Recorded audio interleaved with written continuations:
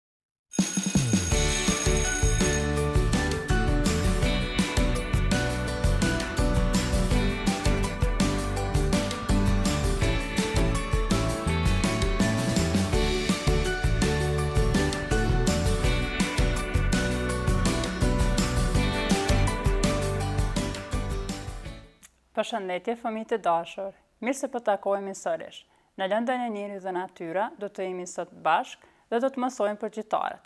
Nga ora e kaluar, kemi mësuar për kurrizorët, ku pjesë e kurrizorëve kanë qenë edhe gjitarët. Pra sot do të mësojmë më shumë për gjitarët, ku pjesë e gjitarëve jemi dhe ne njerëzit. Fillimisht, po ju prezantoj me mjetet të cilat ju duhen.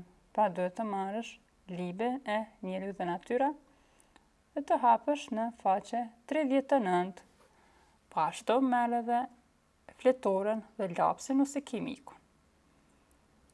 Nëse je gati, atëherë po vazhdojmë. Mirë se vini në kopshtin zoologjik. Pra Miri shkoi në kopshtin zoologjik ku kishte vetëm gjitarë. Brenda këtij kopshti Kishte tri hyrje, secila me lloj tjetër të gjitarëve. A ta shohim se në cilën hyrje shkoi ai fillimisht? Pra të shohim llojet e gjitarëve.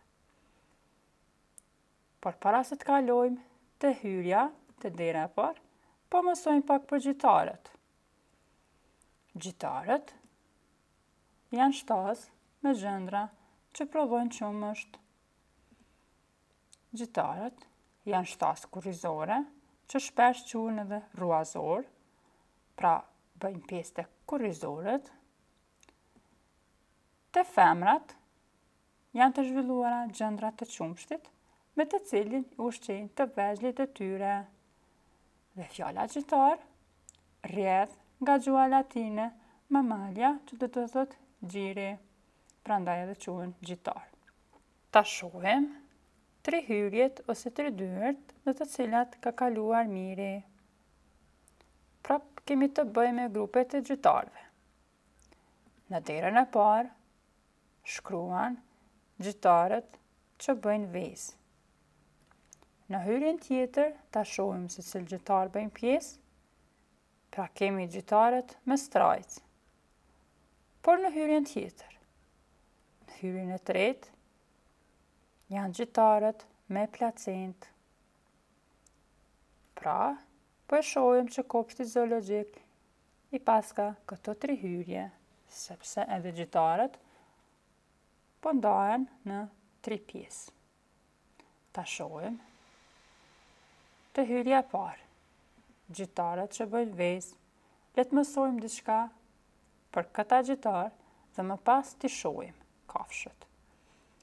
Gjitarët që bëjnë vezë nuk lindin të vegjlit, por ata i çelin nga vezët. Pra sikur shpezët, nuk i lindin, por i çelin nga vezët. Këlyshët e këtyre gjitarëve lëpin qumështin nga lëkura dhe qimet e nënës, në të cilat gjenden edhe gjëndrat e qumështit. Pjesë e këtyre gjitarëve janë ehidna dhe sqeprosa. Keni dëgjuar ndonjëherë për këto?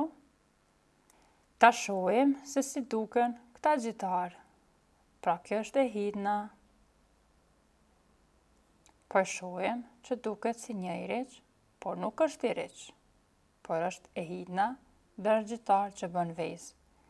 I vogli i edni, ehidnës duket kështu. Po e shohim që gjendet në dorën e njeriut, pra është shumë i vogël. Gjitari tjetër në këtë grup ose në këtë hyrje të cilën ka shkuar Miri është ortinorogu ose sqeprosa Ta shohim se si duket. Pra sqeprosa duket kështu. Karakteristike për të është se ai edhe mund të notojë dhe po i shohim edhe vezët e tij të cilat gjenden poshtë trupit të tij. Këta janë pra dy gjitarët të cilat bëjnë vezë, pra ishin ehidna dhe sqeprosa. Kalojmë tani te hyrja tjetër e kopshtit zoologjik, që janë gjitarët me strajcë. Strajca e dimë që është, është një formë çante. Te këta gjitarë lindin të vegjlit e tyre, pra nuk i bëjnë përmes vezëve, por i lindin. Këta gjitarë rrisin të vegjlit e tyre në xhep apo në strajcë, të cilat e kanë të vendosur në trupin e tyre. Të vegjlit e tyre nuk kanë qime dhe nganjëherë janë të, var, të verbër. Pjesë e këtyre gjitarëve janë kanguri, koala dhe minjtë e mëdhenj. Kanguri, pra, po e shohim se si duket. E shohim strajcën e tij që ka poshtë te pjesa e barkut, ato i mban të vegjlit e tyre. Kurse në fotografinë poshtë, po e shohim të voglin e kangurit. Pra po e shohim që është pa qime dhe janë plotësisht të pafuqishëm, janë shumë të dobët. Tjetër gjitar është koala. Po e shohim. Dhe po e shohim duke mbajtur edhe ky të voglin e tyre në strajcë. Çka është karakteristike te këta gjitarë, është se këta flenë për mbi njëzet orë në ditë. Dhe hyrja e fundit e kopshtit zoologjik janë gjitarët me placentë, Para se t'i shohim kafshët, po mësojmë diçka për to. Te këta gjitarë të vegjlit zhvillohen në trupin e nënës. Pra, formësimi dhe zhvillimi i tyre bëhet brenda trupit të nënës. Këta gjitarë kanë organin të quajtur placentë, prandaj edhe quhen gjitarë me placentë. Të vegjlit e tyre thithin qumshtin e nënës. Gjitarët me placentë mund të jetojnë në tokë, në ujë, por edhe në ajër. Dhe në këtë grup bëjnë pjesë dreri, luani, balena, delfini, lakuriqi dhe shumë e shumë kafshë të tjera. Por, më i rëndësishmi është edhe njeriu. pra edhe njerëzit janë gjitarë me placentë, për shkak se i vogli ose të gjithë ne zhvillohemi në trupin e nënës. T'i shohim gjitarët placentalë të ujit, pra kush është gjitar i ujit. është balena dhe delfinët. Pra këta janë gjitarë të cilët jetojnë në ujë. Por t'i shohim gjitarët e tokës, kuptohet gjitarët placentalë. Kemi disa prej tyre, që është ketri, lepuri,